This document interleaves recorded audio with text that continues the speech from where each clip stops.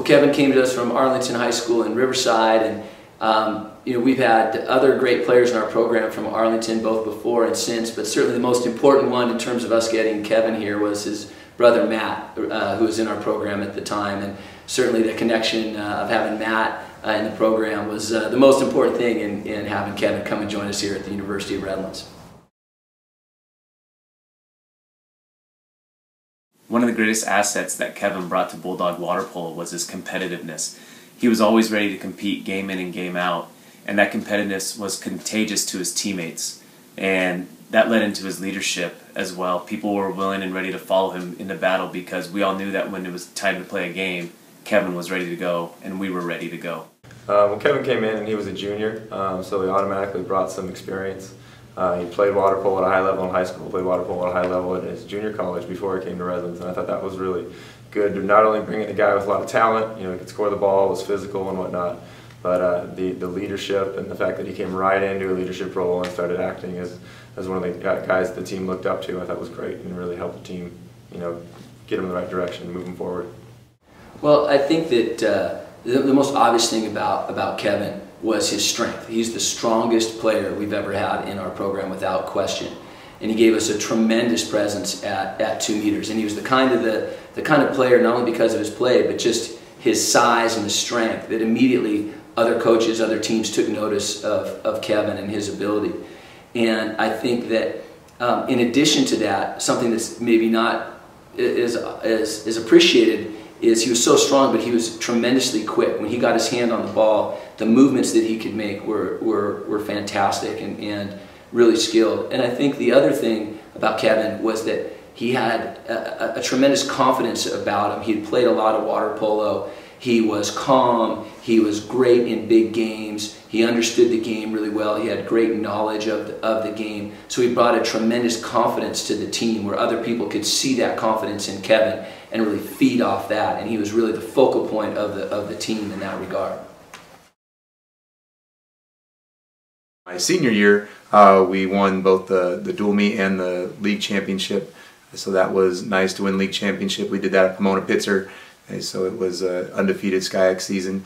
And then went on to WWPAs and played at Loyola Marymount, and then finished at that point in time uh, the best Redlands had ever finished in WWPAs. We were able to beat Air Force for the first time that year, so we beat them earlier on in the season 11 to 10 up at Santa Cruz, and then at Loyola Marymount WWPAs we beat them for third place. Uh, to finish third place and like I said finish the, the best we ever had at that point in time for the University of Redlands. Actually, I could have two good memories of Kevin. One is back when we played together, we were teammates in high school. Uh, we played a CIF game uh, my senior year, his sophomore year at that time.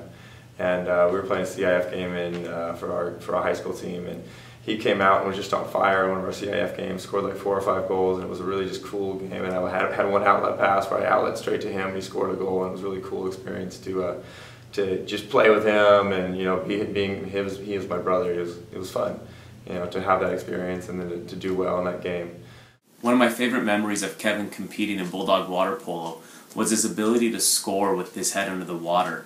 He'd receive the ball in at the center position and his head would go underwater for about, oh, four or five seconds. And all of a sudden you'd see the ball end up in the back of the cage while his head was still underwater.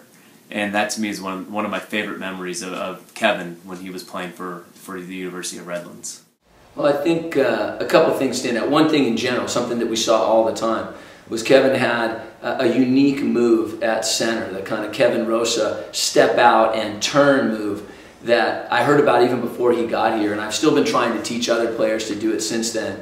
And, uh, and I've never been able to, to get anybody to do it. And it's something that was unique to him, something that even if you knew it was coming, you couldn't stop it and uh, fortunately, we get to see it in the alumni game uh, periodically as well. And I keep telling guys, there it is. You got to learn how to do that. And uh, but it was a great combination of, of his ability to use his tremendous strength and and savvy and quickness all at the same time. And so I always remember that Kevin Rosa step out and turn move uh, that nobody else I've ever seen do that. And I think another memory, again, Kevin had so many great plays, scored so many great goals for us in other plays. But I think one of the things that I will remember most about Kevin's career was his very last play. And we were playing in the WWPA tournament against Air Force um, in the third place game. and uh, and we ended up winning that game, and that was the highest uh, at that time that we had ever placed in the in the WWPA tournament. And Kevin, I think, um, didn't get as much credit as he deserved for being a, a great all-around player. He was, I think, other coaches maybe looked at him as as such a he was such an offensive threat that I don't think they appreciated what he could do defensively. And I can still remember very vividly the end of that game against Air Force where um, we're up by a goal, they call timeout, they have a chance to, to you know, tie the game, and we end that game by Kevin making a great steal on the perimeter and just swimming out the clock. So all the great plays that he made for us, he finished it with a great defensive play to end the game and to end his career, and I think that was, that was really cool. I think that um, you know Kevin has great stats, scored a ton of goal, goals for us. He was the Division three Player of the Year, and so you know all those requisite honors and awards and stats are there when it comes to Kevin. But I think the thing that Kevin really did for our program more than anything else was he gave us the confidence to play at the next level. And it was when Kevin was was leading the team when we had our first uh, win against UC Davis and then two wins against Air Force, including the one I mentioned earlier. So I think Kevin's confidence and his strength um, and his ability um, and his experience really helped us to take the team to the next level. And then um, with the championship we won in 99 and then with Kevin's the, the, his senior year in 2001, that really solidified our, our run and, and kind of, I think, indicated that our program was at the next level, at a very high level, and there to stay. And so, for that leadership and that ability to kind of give us the confidence to play against the next level of teams, I think Kevin's certainly well, well deserving of being in our Hall of Fame.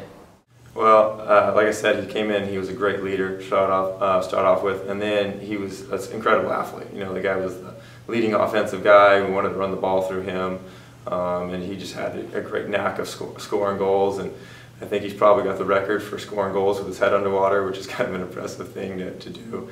And uh, he just he just really whatever he did, wherever he went, he was a winner. Um, you know, he figured out how to get his team to win games, whether it was scoring goals or making the defensive effort. Um, I thought he did a great job of just winning games, and he's very deserving of the, the Hall of Fame. Uh, being inducted to the Bulldog Hall of Fame is uh, a great honor. So obviously, there's not a whole lot of people that are inducted into Hall of Fames, and it's a great experience hey, to do that. Say, know I'm going in, say, Taj Jensen, I know got it inducted a couple of years ago, but he's here. Say, and that's okay, maybe the best player of the play at University of Redlands, so it's fun to see him, and I was able to watch him because he was the same age as my, my older brother, Matt Rosa, that played for all four years, so I was able to watch him, and it was just fun to watch such a great player. Uh, so to come in with the great athletes that are there, say, have been inducted, and to be mentioned those uh, with those people is uh, great. So just had a great time at the University of Redlands. So it was a great experience for me. So I had great people with Coach Whittemore. Saying again, my older brother Matthew Rosa. Say being able to spend time with him and being able to experience that with my my fiance at the time and now my my wife. Just two years of, of college at University of Redlands. I had a great time. Well, just seeing him getting inducted is a really proud moment for me. I'm really happy for him. I know he worked hard throughout his career and, and trained a lot and, and, is very deserving of all that. And I'm, I'm really happy that he's getting this recognition and, and I think he's very deserving of it. And uh, he's a phenomenal athlete and uh, we've trained hard for all his accolades that he got. Hey Rosa, congratulations on your induction into the U of R Hall of Fame. I'm really proud of you. It was an absolute blast playing with you. Uh, you're one of the best players I've ever played with and what a true true honor it is for you to be able to have this night and be inducted into the U of R Hall of Fame. Congratulations. I think the thing about Kevin that is really important, uh, besides all his statistical accomplishments, was his leadership. He was just a strong, quiet, charismatic leader within the group, and the guys were drawn to his presence as a leader, and that helped raise us to a, to the next level. And he's taken that same leadership into the into the classroom as a teacher and certainly uh, done a lot for the kids at King High School. Is both a teacher and a CIF championship coach, so he's remained committed to water polo, and I think that's really exciting. And so to Kevin, congratulations. This is certainly a well-deserved honor. We're, we're really fortunate to have you as part of our Bulldog family. Ladies and gentlemen, Hall of Fame inductee Kevin Rosa. Presenting Kevin's plaque is head men's and women's water polo coach Tom Whittemore.